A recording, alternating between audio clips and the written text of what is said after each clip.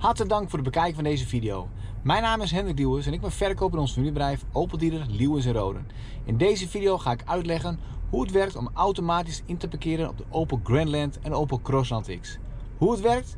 Kijk gerust mee. Heb je vragen? Stel ze gerust. Ik help je graag.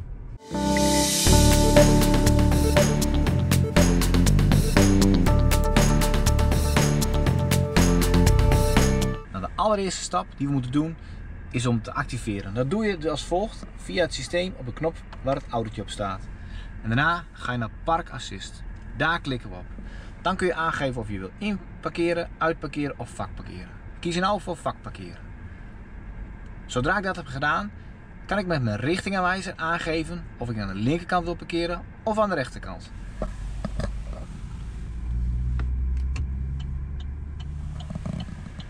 Zodra ik dit heb gedaan, zie ik het scherm ook veranderen. Ik rijd niet harder dan 20 km per uur recht voor.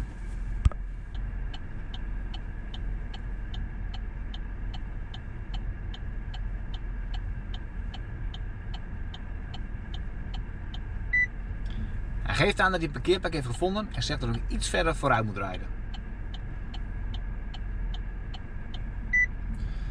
Zodra ik dat heb gedaan, geeft hij aan dat ik me achteruit kan zetten en dat ik achteruit kan rijden. Hier zie ik alles mooi op de camera en let op wat er met het stuur gebeurt.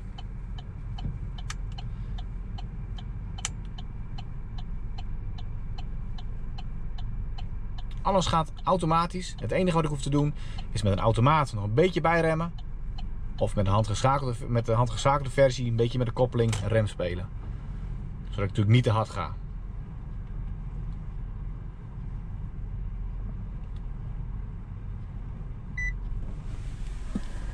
En alles is voltooid.